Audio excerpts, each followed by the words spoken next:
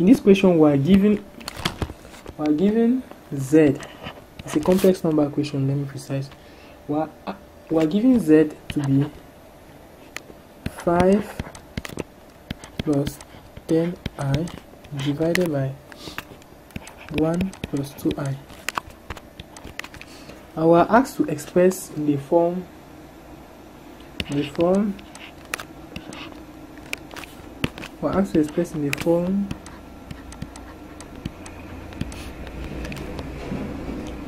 a a sorry plus a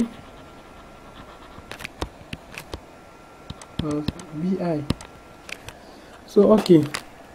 So we're given z and we're asked to express to this form. That's for the a part. Okay let's start. We know z can, is the same as let's write back our z.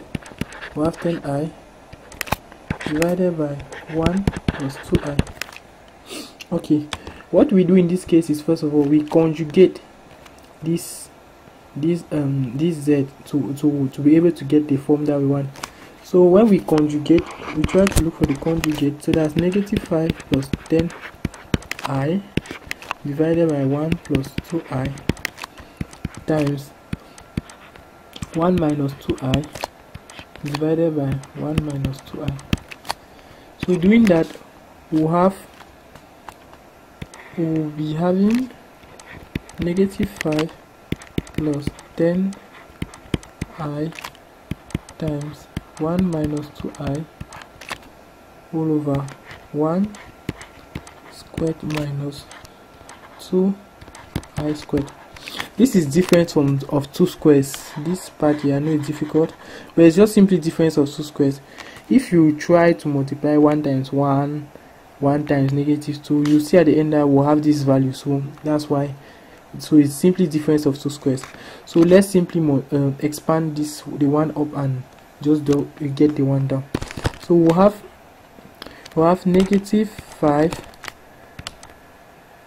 negative 5 this negative 5 times 1 plus 10 plus 10i and negative 20i negative plus 20 because i times i will give us negative will give us i squared and we know that we all know that i squared is equal to negative 1 so i squared is equal to negative 1 times this negative 1 here will give us 420 okay all divided by 1 plus 5 because we all know that we all know that um 1 squared plus 5 1 um, sorry plus 4 we all know that this one is 1 minus 2i 2i is 2i squared 2i 2 is squared so that was given give us 4 there and also i is i squared to give us negative 1 2 times that to give us that. So finally our expression will be negative 5 plus 10 i plus 10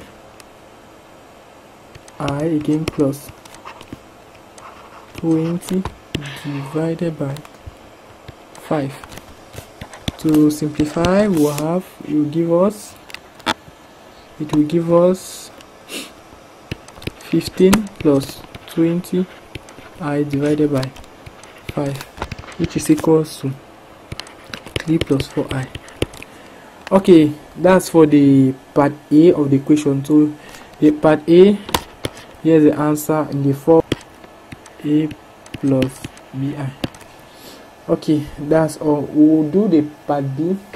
The part b will ask for the modulus and the argument. The part the sub a of of um, the question 7 as i said if you don't have the question please just visit our, our website very fast. Okay the sub a of the question will ask for the modulus and the argument.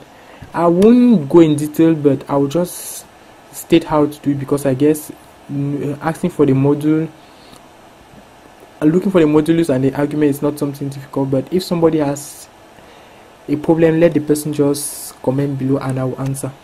Okay i'll just say for the modulus modulus you get you get 3 plus 3 all squared plus sorry 3 all squared plus 4 all squared. The square root of that. Uh, then you could just compute the answer.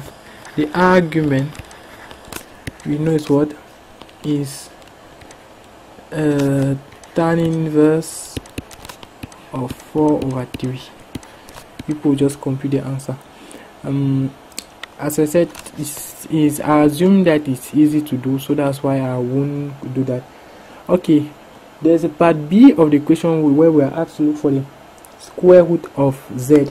After is what? Is 3 plus 4i 3 plus 4i that is our new z that's that's our new z after we did our manipulations. But also asking for the square root of z is simply asking the square root of of 3 plus 4i that's what they're asking for. But you know 3 plus 4i is in the form if i can say so is in the form is in the form is in the form it's in the form of a plus bi okay. So therefore asking for the square root of 3 plus 4i is equal to a plus bi if i can say so. Okay now we just try to equate. We square both sides so we're left with 3 plus 4i is equal to square root of a plus bi all squared. Therefore then we have 3 plus 4i is equal to square root of this is a squared plus 2abi plus b squared. Okay. We are so now what we'll do is to is compare co um, equate values similar values as we all know. This first similar value we'll compare compare we'll equate coefficients.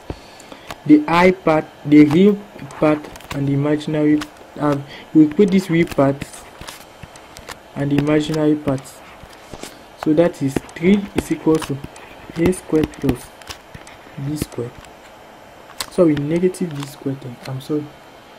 Because when we square this we have b squared that's negative b squared i'm sorry for that mistake.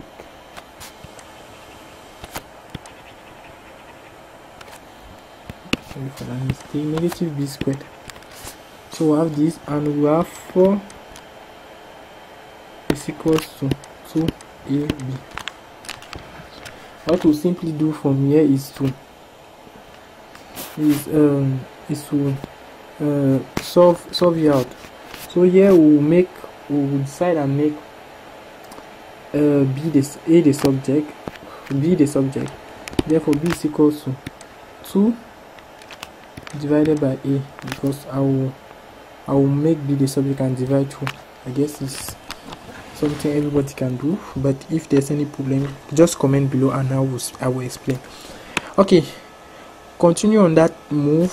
We'll substitute it we'll call this let me call back our equation one sorry equation two.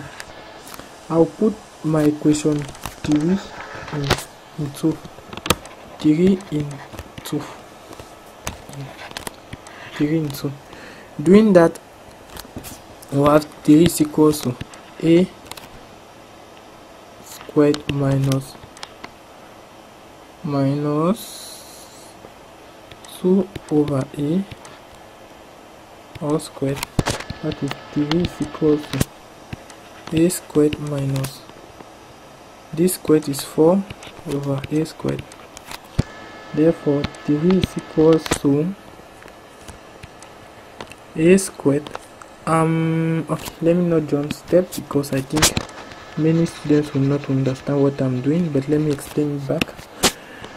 Three I what will I'll do to I'll multiply all through by a squared because I don't want to do uh, LCM and the rest. To remove this a squared here so I have 3a squared is equals to a squared minus 4 I hope it's okay. A to the power 4 minus 4 I multiplied through by a a squared to move this this a squared that is found here. Okay so now doing the sorry minus 3 minus 3 I'm back. Okay while this equals to 0 we'll just factorize out. I'm sorry I'll jump this step because I've done a video on factorization so please if you don't have it please just check out my YouTube channel because uh, due to time I don't want this video to be long. Okay we have a. If when we factorize this we successfully have a to the power minus 4 a squared to the power minus 4 a squared plus 1 but let me just give a, a hint here. The simplest way to factorize is to just say let a squared be equal to like y. Therefore equation will be y squared minus 4 plus minus 3 y. Then you solve it out. That's all. It's equals to 0 here we have two answers. A squared is equals to 4 comma a squared is equals to negative 1 you always at this case. You always choose by the positive value. Okay. Now following back our example continuing back with what we ended we have a is equals to plus or minus 2 i hope everybody knows why it's plus or minus because when you take the square root of something you always have a plus or minus value.